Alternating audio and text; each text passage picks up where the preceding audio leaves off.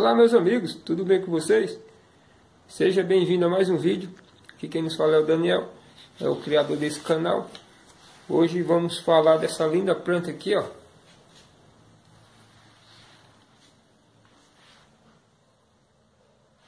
Atúrio.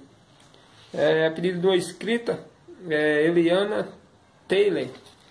Pediu para falar sobre essa planta. E para dar algumas dicas de cuidados. Então, vamos falar sobre ela. Fica aí atento no final do vídeo. Tem abraços. Então, é uma planta de fácil cultivo. Uma planta que não te dá trabalho em nada. Tenho essas duas plantas, tenho essa aqui, que ela já tem uns dois anos, três anos aqui em casa. E tenho essa outra que está florida, essas duas cores. São puxadas para um tom mais rosa. E essa mais vermelho. Essa aqui é vermelha também. Mas porém ela não está florindo. Porque já tem uns tempos já que ela não está florindo, mas é normal. Ela fica num tempo de uns seis meses sem colocar flor nenhuma, mas acredito que logo logo venha colocar flor. Então os cuidados é muito simples. Ela é uma planta de meia sombra. Se você colocar ela no sol, que nessa aqui pegou um, um, um pouquinho de sol, ela vai queimar a folha. Eu acabei levando, colocando elas para levar chuva.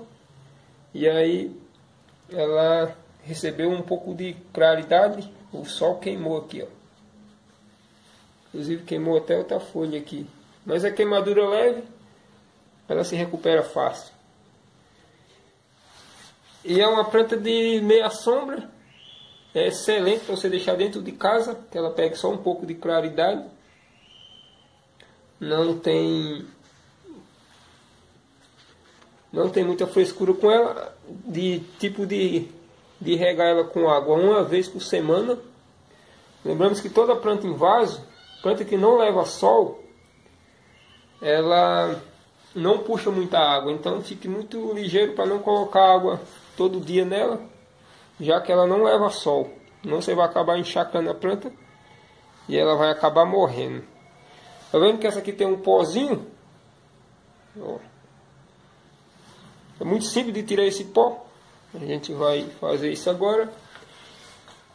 A, a dura bastante é uma flor dura, de durabilidade.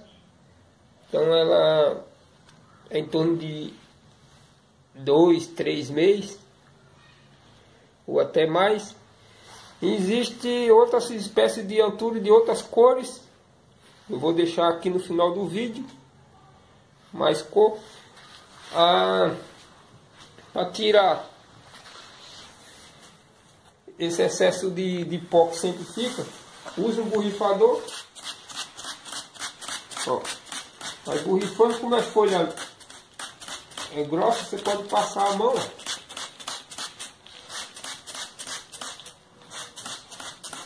Esse processo é muito bom fazer uma vez por semana. Vai deixar a sua planta mais verdinha. E não deixando aquele pó que atrapalha da planta respirar. Tá vendo? Tem um pozinho. Isso é normal.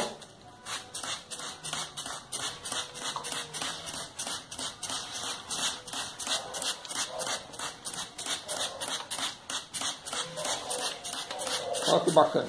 Vamos fazer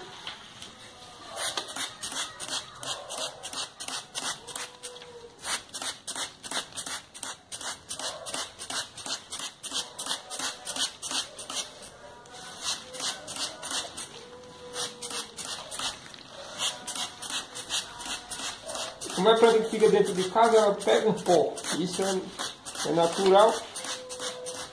Então nada melhor do que fazer isso. A quantidade de água é muito pouquinho. Colocou um pouquinho de nada, já está excelente.